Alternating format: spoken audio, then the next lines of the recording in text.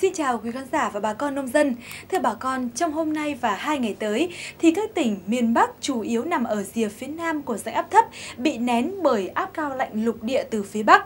Từ ngày 3 tháng 4 thì áp thấp phía Tây có xu hướng mở rộng dần về phía Đông và bắt đầu ảnh hưởng đến thời tiết ở các tỉnh thuộc khu vực miền Bắc.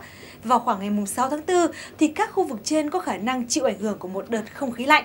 Như vậy là liên tục trong giai đoạn tới thì các tỉnh thành miền Bắc nằm trong hoạt động của khối không khí nóng và không khí lạnh đan xen.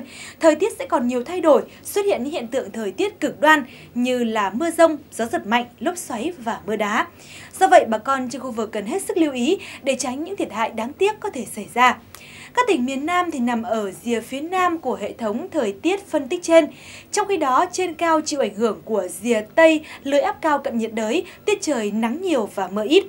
Sau đây mời bà con theo dõi dự báo thời tiết trên các vùng đêm nay và ngày mai. Ở khu vực phía Tây Bắc Bộ thì mây thay đổi, có mưa rào và rông vài nơi. Nhiệt độ thấp nhất là từ 20 đến 23 độ, có nơi là từ 17 đến 19 độ. Nhiệt độ cao nhất là từ 26 đến 29 độ, có nơi là từ 30 đến 32 32 độ và độ ẩm là từ 60 cho đến 70%. Ở khu vực phía Đông Bắc Bộ thì trời nhiều mây, sáng và đêm có mưa, mưa rào rải rác và có nơi có rông. Trong cơn rông cần đề phòng tố lốc và có gió giật mạnh. Nhiệt độ thấp nhất là từ 20 đến 23 độ, nhiệt độ cao nhất là từ 26 đến 29 độ và độ ẩm là từ 60 đến 70%. Ở khu vực đồng bằng sông Hồng, trời nhiều mây, sáng và đêm có mưa, mưa rào và có nơi có rông. Nhiệt độ thấp nhất là từ 22 đến 24 độ, nhiệt độ cao nhất là từ 25 đến 27 độ và độ ẩm là từ 70 cho đến 90%. Ở khu vực miền Trung thì từ Thanh Hóa tới Thừa Thiên Huế, ở phía Bắc thì trời sẽ nhiều mây, ngày có mưa rải rác, đêm có mưa vài nơi. Còn ở khu vực phía Nam thì mây thay đổi, ngày nắng, chiều tối và đêm có mưa rào và rông vài nơi. Nhiệt độ thấp nhất là từ 22 đến 25 độ, nhiệt độ cao nhất là từ 26 đến 29 độ. Ở khu vực phía Nam là từ 30 đến 33 độ và độ ẩm là từ 80 đến 85%. Trong khi đó thì từ Đà Nẵng trở vào đến Bình Thuận, mây thay đổi, ngày nắng, chiều tối và đêm có mưa rào và rông vài nơi. Nhiệt độ thấp nhất là từ 24 đến 27 độ, nhiệt độ cao nhất là từ 30 đến 33 độ và độ ẩm là từ 65 cho đến 75%. Thưa bà con, chưa bao giờ tình trạng khô hạn, thiếu nước tưới ở Bình Định lại diễn ra gay gắt như vụ đông xuân năm nay. Hiện toàn tỉnh có gần một nửa diện tích lúa bị thiếu nước, cháy khô. Người dân đang đối mặt với một mùa vụ thất bát. Nhiều bà con phải chấp nhận thu hoạch sớm trong tình trạng là cây lúa cháy khô, còi cọc. Trong khi đó thì cây đậu phộng cũng đang trong tình trạng chờ nước tưới. Xin được chuyển sang thời tiết ở khu vực Tây Nguyên. Vào ngày hôm nay thì mây phát triển nhiều hơn và có mưa nhẹ.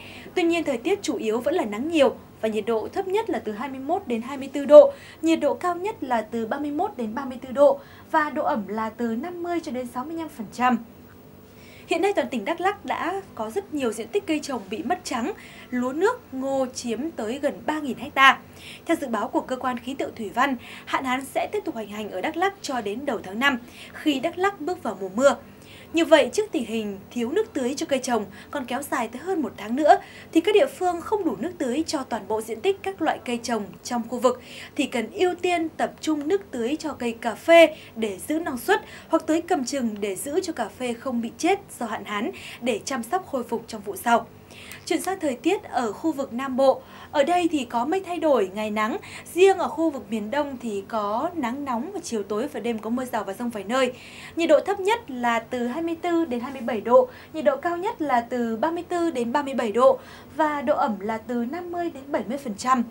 Thưa quý vị cùng bà con nông dân, hiện nay thì các tỉnh thành thuộc khu vực phía Nam tình hình thời tiết nắng nóng kéo dài, chênh lệch nhiệt độ giữa ngày và đêm khá lớn và đã gây bất lợi cho sức khỏe của tôm nuôi.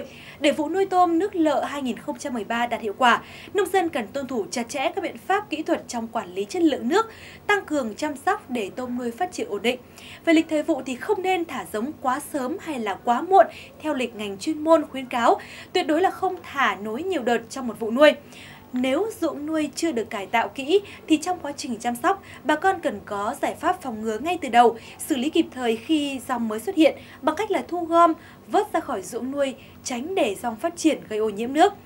Thông tin trên cũng đã khép lại bản tin thời tiết nông vụ ngày hôm nay. Xin kính chào tạm biệt và hẹn gặp lại.